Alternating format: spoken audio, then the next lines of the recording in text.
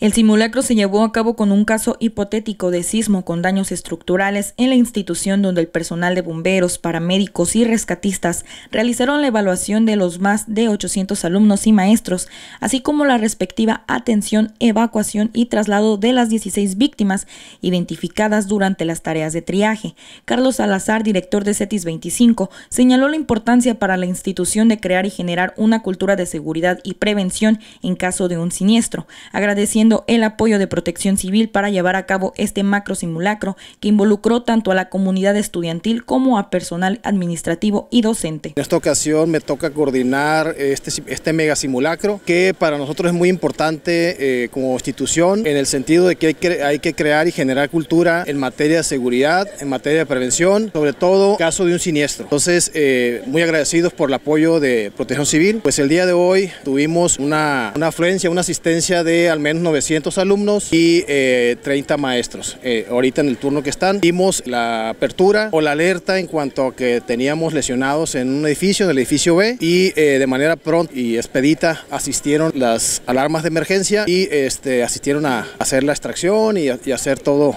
todo el protocolo, ¿no? Para que en ese sentido estén sensibilizados con este tipo de eventos y a partir de activar la formación preventiva con, con la Brigada de Emergencias, se hace un trabajo de manera más consciente a contar con un plan de contingencia que les permita saber actuar en caso de siniestro, además de ayudar a las corporaciones a medir su capacidad resolutiva, declaró el director Enrique García. El simulacro eh, recibe el reporte del C4, nos activa al primer capitán Juan Márquez, eh, arribar al lugar, hace una evaluación de los riesgos, la evaluación 360, se hace una clasificación por parte del capitán Sergio García utilizando el método triage, triage es una palabra francesa denominada clasificar, entonces una vez clasificando las prioridades de los pacientes, pacientes son cuatro prioridades. La primera prioridad es altamente crítica, ir a un hospital es la prioridad roja, seguido de la prioridad amarilla, prioridad verde y la prioridad negra, personas que han perdido la vida. En este caso hipotético se trabajaron 17 pacientes, 8 pacientes verdes, 4 pacientes amarillos, 4 pacientes verdes y un paciente negro, un paciente que pierde la vida. Ese es el orden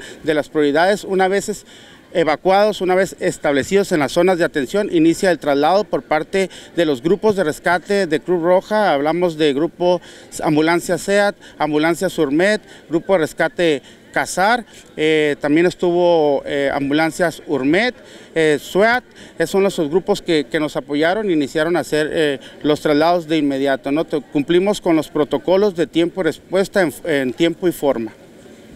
Por último, el director de Protección Civil y Bomberos comentó que estas actividades las hacen en pro de la ciudadanía, debido a que una emergencia grande puede llegar en cualquier momento y ellos tienen que brindar un buen servicio a la comunidad estando preparados. Informando para CNR Televisión, Lilia Velázquez.